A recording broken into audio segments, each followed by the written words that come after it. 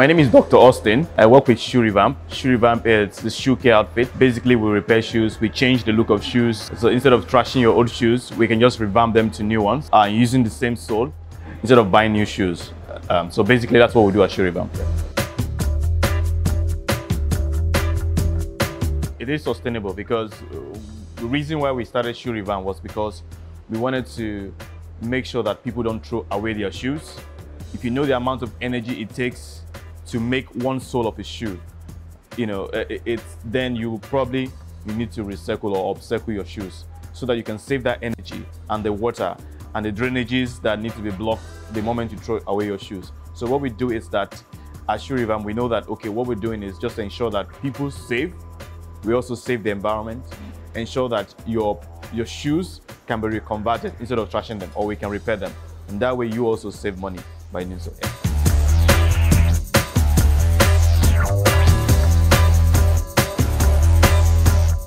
There are various types of types of shoes and quality quality type of shoe, right? So let's say you invest in in a synthetic material, okay? And because it's different from quality leather, if you spend money on expensive shoes, you won't let them go that easily, right? But the thing is, what determines how long you can use the sole is it's the quality of the shoe. A male shoe can be resoled up to 10 times. If your sole is bad, you can actually resole it more than 10 times within the life cycle of that shoe for the, for the male guys, right?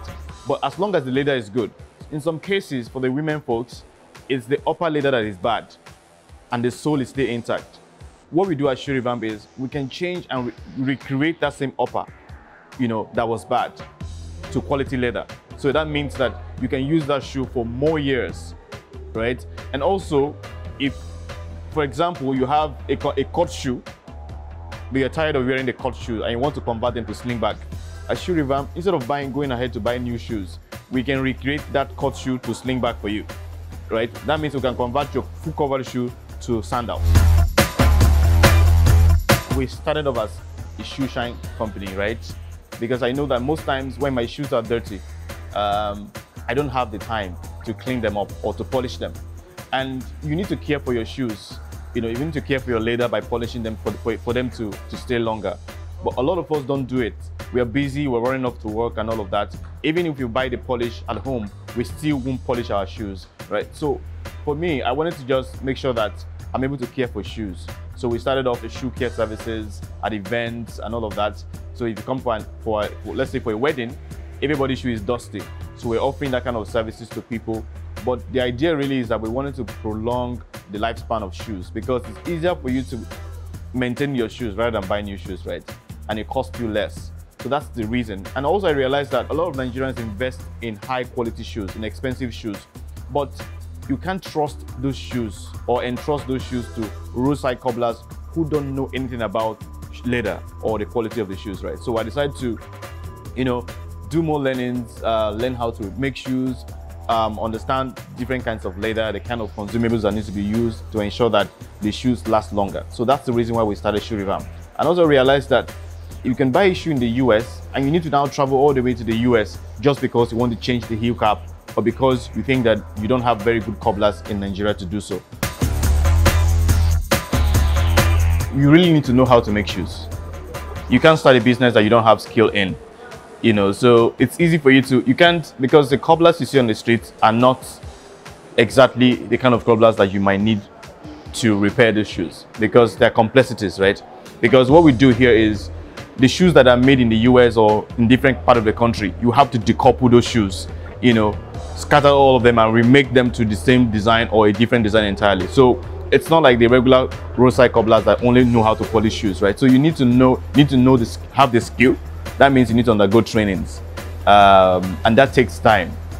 You know, uh, so even if at all you're going to recruit other people, other cobblers to work with you, you also need to understand um, how these guys work as well, right? So, and I think that is also very important. And then understanding um, the various types of shoes, right? Understanding the needs of the customers, because we are we are catering to mostly women, and then I mean more than five, about 10% of our customer base are men, right? But because we know that women buy a lot of shoes, okay, and but the problem is do women really care for shoes, right? Because they don't have the time. Uh, they don't have the time or probably the expertise. We make sure that most of our repairs are mostly for women. We understand the peculiar needs of the women. So it's just about understanding the market and being able to solve it. So yes, so in summary, I would say that having the right skill, um, of course, maybe being educated also helps a lot as well because customer relationship skill is also very important and then understand how to communicate with your customers is also key.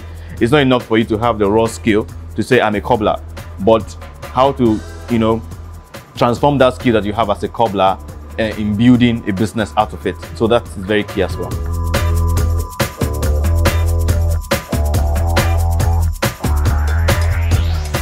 One of the tips would be that you polish your shoes, particularly the leather shoes. If you don't know how to polish them, ensure that you give it to a cobbler who know how to do it. Secondly, when you buy your shoes, remove them from the carton. If you don't, the shoes will feel, I mean, the weather is very hot and by the time you know it, they're already peeling inside. That's a major reason why most female shoes get to peel, especially those ones that are not real leather, all right? And then third, um, try as much as possible not to put your shoes where there's water or humidity. Okay, so you, you don't have to put your shoes where that is completely enclosed. You need to air your shoes, right? So you need to air your shoes from time to time. So whenever your shoes are not being worn, you need to take them out, air them. I'm not saying you should sun them totally, but just air them somewhere, right? That way, it helps protect the leather, okay? But if you don't do that, they start peeling. And then another point is this. When you when you wear your shoes to areas where there are pebbles, okay, where there are stones, please, it's best not to wear heels in those kind of areas. It's easier for you to pull them. Like example, if you're going to church and you know that you have interlockings in your church, it's best that you don't wear your heels um, until you get to a place where you need to wear them because the moment you do, do so, you see all the scratches. That's why you see the heel wrappings are scratching and all of that. Also, the moment you notice that your heel cap is broken, the heel cap is the black rubber that is beneath your, your, your heels. Don't allow it get real bad. The moment it cracks, the best thing to do is to take it to a cobbler to replace that cap. Or you can also buy heel protector. They are this transparent heel protector that you can wear on those shoes whenever you're going for this kind of event. And then another point is this, try to buy good leather shoes. Quality is better than quantity, okay? So if it means you have to spend more in buying one single quality leather shoe, you should buy it. Because the moment you buy cheap shoes, the mass produce leather shoes, um, yes, synthetic leather shoes, in no time they will start peeling, right?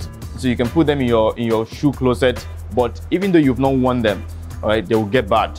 So the advice is that most times it's not all shoes that glitters that are good leather shoes, right? Okay, you need to. And then another point is the patent shoes, those shiny patent shoes. Okay, you don't have to use um, palm oil or granite oil to clean them. Okay, so you need to buy or invest in maybe um, patent leather care products that are available. And also, the final uh, tip I will give is do not use water to, to clean your suede shoes. You don't use sweat to clean um, your suede shoes. And the reason is because the moment you use sweat to clean your, your suede shoes, you discover that the hairy part of the, of the suede begins to slip and then it looks dull okay? So the best thing to do is, is to use suede reconditioner which is also available in the market like the spray and all of that right? So those are some of the tips that you can you know you can use to ensure that your shoes last much longer. And also please don't overuse a particular shoe right? Don't overuse a particular shoe. You need to change those shoes. Have them in numbers. You should interchange those shoes because the moment you interchange them I mean, it lasts longer. So you use this one this date, the next day you use another one. So that way you can, it can last longer for you.